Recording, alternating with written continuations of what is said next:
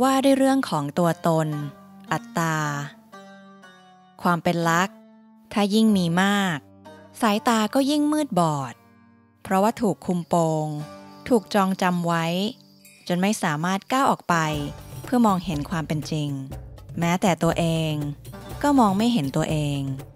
หลายคนดูภูมิใจซะเหลือเกินกับการได้เป็นลักของตน ติดฉลากแล้วมันดูมีอะไรเนาะแล้วก็ใช้งานมันอย่างหนักหน่วง กับการเอาตัวตนปลอมของเราไปชนคนรอบข้าง หรือนำไปครอบงำคนอื่น ได้เลขแล้วก็ยังเพลิดเพลินกับการปล่อยให้กิเลส และกลไกภายในประจำลักของตน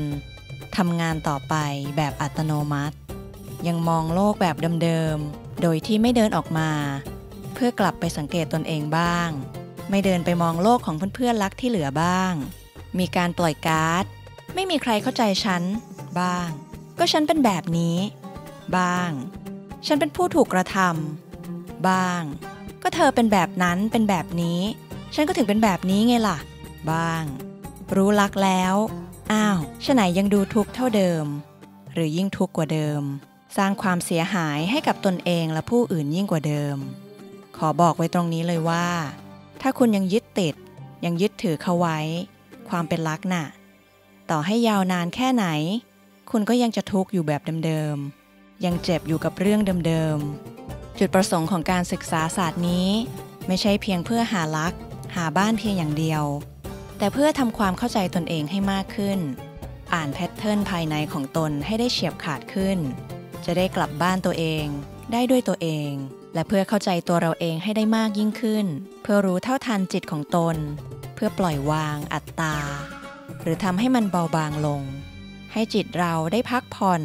คลายจากการทำงานของลักเราบ้าง ถ้าไม่เริ่มที่จะเห็น จิตเราจะยิ่งสร้างตัวตนขึ้นมาให้ใหญ่มากขึ้นเรื่อยๆ ยิ่งใหญ่มาก ก็ยิ่งจะถูกกระทบได้ง่าย หรือไปกระทบผู้อื่นได้ง่าย ถูกด่าก็ตัวจม ถูกชมก็ตัวลอย ถูกสะกิดนิดสะกิดหน่อย ก็โกรธเป็นฟืนเป็นไฟ ด้านในมันร้อน มันมืดดำเหลือเกิน และคิดต่อไปเอง ปรุงแต่งต่อไปเอง จริงไม่จริงแค่ไหนไม่รู้ ฉันรู้สึกไว้ก่อนทำให้เจ็บปวดได้ง่าย ทุกร้อนได้ง่ายรำคาญได้ง่าย หวาดกลัวได้ง่าย โกรธเกลียดได้ง่าย เกิดความคาดหวังต่างๆ ว่า ทุกอย่างต้องเป็นไปตามที่ฉันอยากให้มันเป็นสิ จิตใจก็วันไหวไปกับการกระทบต่างๆ ผ่านให้เกิดพฤติกรรมไม่พึงประสงค์ต่างๆ ความเป็นลักษณ์ที่เราหวงแหนนักหนาน่ะ มันคืออัตตาที่เราสร้างขึ้นมา เพื่อแบกถือความหนักอึ้งนั้นไว้ภายใน วางมันลงเถิดผองเพื่อน พิจารณาลักด้วยสติ สร้างเกราะของสติให้แข็งแรง แข็งแรงมากพอ ที่จะกระเทาะอัตตา และมองเห็นสิ่งต่างๆ ด้วยปัญญา เห็นทุกอย่างอย่างที่มันเป็น กลับเข้ามาสู่ภาวะที่แท้จริงและสวยงามของคุณภายใน เติมบารมี ให้กับจิตที่บริสุทธิ์ จิตที่พร้อมจะปลูกแต่สิ่งที่ดีงามให้กับตนเองและผู้อื่น เพื่อชีวิตที่เบาสบายจากการยึดถือ ยึดติด เพื่อชีวิต